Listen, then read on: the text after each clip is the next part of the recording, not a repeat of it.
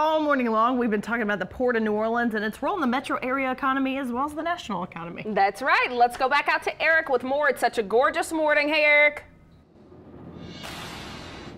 It really is, and I'll tell you what, the humidity is kind of high, but the nice breeze on the riverfront always makes it wonderful here. And the Port of New Orleans, as we've been talking on this National Maritime Day, is a huge part of the economy of the city of New Orleans and the entire metro region, actually the entire state. And uh, Tiffany Carter is here, who's the Director of Procurement for the port. And exactly what, what do you do as Director of Procurement? I get to foresee all the purchases for the port and make sure that we abide by the state laws, but most importantly, we have a big effort for small and local businesses to assure that they know the bid opportunities that are afforded at the Port of New Orleans. So it's a very exciting time for us. And this does have a huge impact on the local economy. It does. We've done in the past three years. We've done about 11 million in intentional small business spend, and we recognize the importance of the economy because we know they're hiring locals, and that's very important to us. So we make sure that they know and have big awareness that the jobs and opportunities are available for them.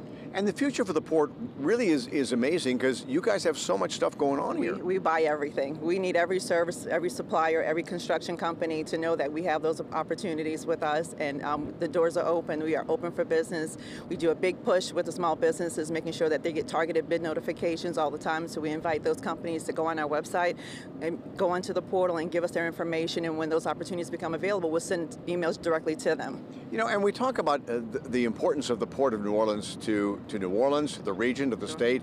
Uh, what kind of a, an economic impact does it have on, say, the local economy? No, we see a very competitive marketplace, which is exciting for us. In the past three years, we've seen that the big guys aren't always getting the jobs and always getting the, the, the bids. So the local companies are actually gaining capital investment with us because they are winning those bids. And we see a very competitive marketplace. For myself, I love that because we get to save money and do other things that we want to do with the, with the money that we save.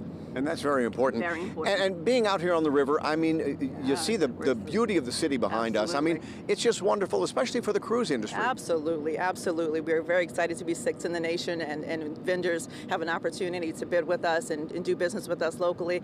It's a very exciting time at the Port of New Orleans, for sure. And what is the, what is one of the biggest projects coming? Is it is it Disney coming here? The two new cranes coming?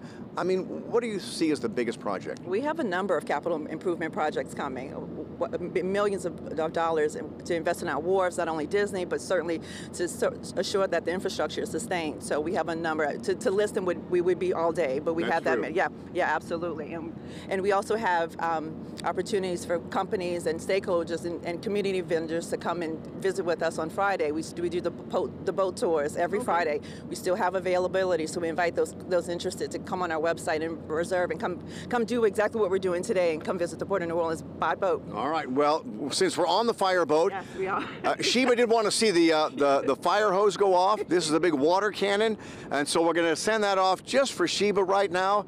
It's all for your enjoyment because Sheba wondered what the heck is a fireboat. I'm so glad now you're giving know. me a demonstration, Eric. There it goes. Oh, there we go. Huh.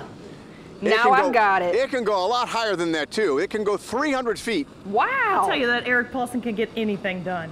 He's taking requests. It is true. All right, there thanks, you Aaron. Go. Let's get over to April and Mackie.